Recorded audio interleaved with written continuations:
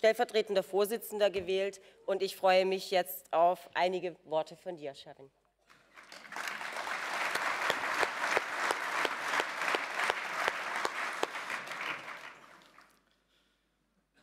Ja, liebe Freundinnen und Freunde, heute ist für mich eine der vielen ersten Male in diesen Wochen. Wie ihr wisst, gehörte es bis vor kurzem nicht zu meiner Lebensplanung, eine Rede auf einem Parteitag zu halten. Für mich kam aber im letzten Jahr der Moment, nicht mehr vom Spielfeldrand zuzuschauen, sondern selber etwas zu tun. Mir ist dabei eines klar geworden. Wenn sich die Politik der letzten Jahre in Deutschland und in Europa nicht gravierend verändert, steht unsere Demokratie, für die Millionen von Menschen über Generationen hinweg gekämpft haben, auf dem Spiel.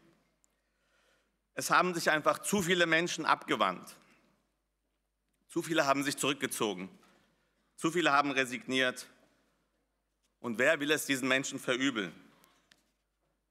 Eine Politik, die die soziale Frage und die der Gerechtigkeit nicht mehr in den Fokus stellt wo die hart arbeitenden Menschen immer mehr belastet werden, wo Lebensleistung von Rentnern, Eltern und Alleinerziehenden nicht anerkannt wird, wo Unterstützung für die Schwachen und Schwächsten gekürzt wird und wo Bildung immer mehr zu einer Frage der Herkunft wird. Eine solche Politik zerstört den sozialen Zusammenhalt und das Vertrauen in Demokratie und Staat.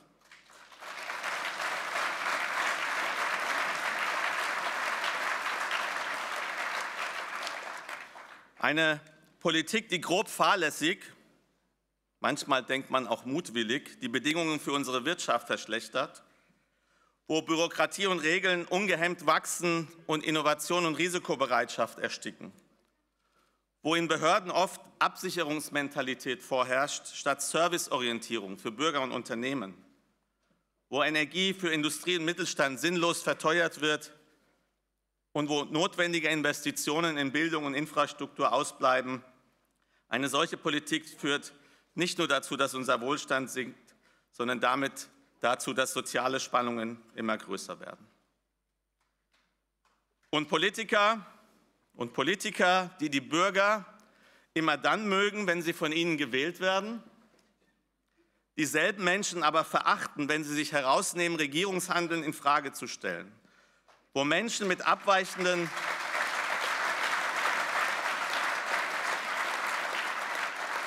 wo Menschen mit abweichenden Meinungen als rückständig oder extrem etikettiert werden, wo Entscheidungen als alternativlos oder Transformation verkauft werden, um letztlich über Ideologien hinwegzutäuschen oder von Lobbyeinflüssen abzulenken und wo Menschen, die andere Auffassungen vertreten, öffentlich diskreditiert und herabgesetzt werden. Solche Politiker erreichen, dass sich immer mehr zurückziehen, weil sie an den, an den Rand gedrängt werden.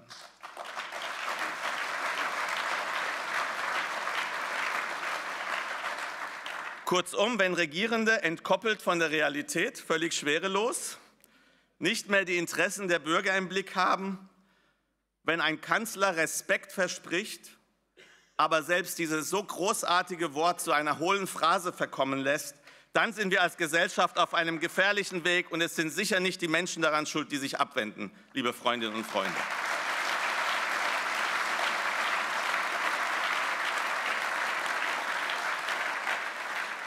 Das alles hat mich in den letzten Jahren sehr bewegt und für mich und viele andere ist es ein großes Glück, dass es mit unserer Partei wieder eine politische Heimat gibt.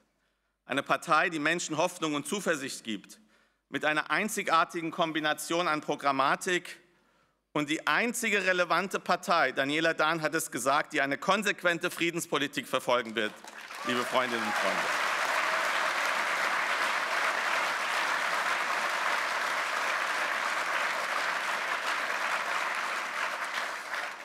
Ja, es gibt eine Repräsentationslücke und ja, es ist gut, dass wir sie füllen. Und zugleich bin ich davon überzeugt, dass sich die Menschen neben anderen Inhalten auch nach einer anderen politischen Kultur sehnen. Viele wenden sich ja deswegen von Politik ab, sind geradezu abgetörnt von davon, wie Politiker sich verhalten.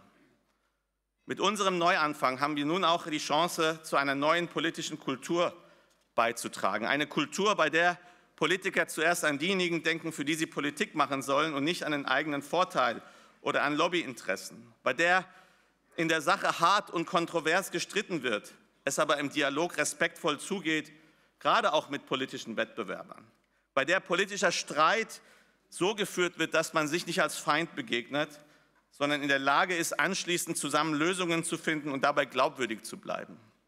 Bei der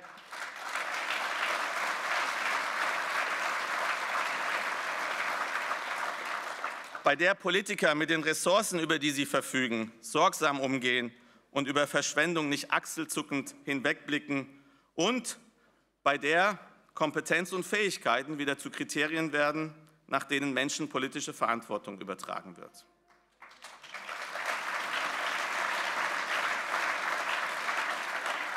Und ich bin sicher, wenn uns das gelingt, eine solche Kultur in der Partei und im politischen Wettbewerb vorzuleben, werden viele Menschen Politik und staatlichen Institutionen wieder Vertrauen schenken. Liebe Freundinnen und Freunde, viele aus meinem Umfeld haben mir in den letzten Wochen für den Schritt in die Politik Respekt gezollt. Dennoch empfinde ich es zuallererst als Vorrecht und auch als Verpflichtung, diesem Land, dem ich so viel zu verdanken habe, durch meine politische Arbeit etwas zurückzugeben. Und in diesem Sinne freue ich mich sehr darauf, mit euch zusammen ein neues politisches Kapitel in Deutschland aufzuschlagen und danke euch allen sehr für euer Vertrauen. Lasst uns gemeinsam daran arbeiten. Vielen Dank.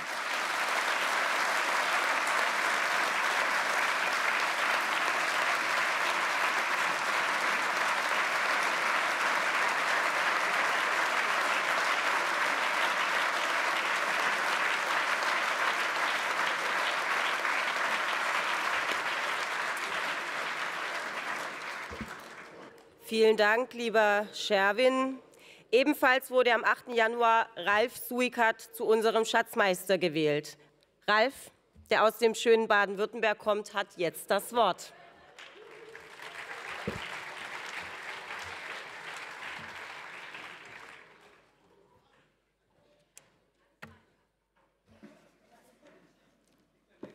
Der Mensch ist stark, wenn er verbunden ist.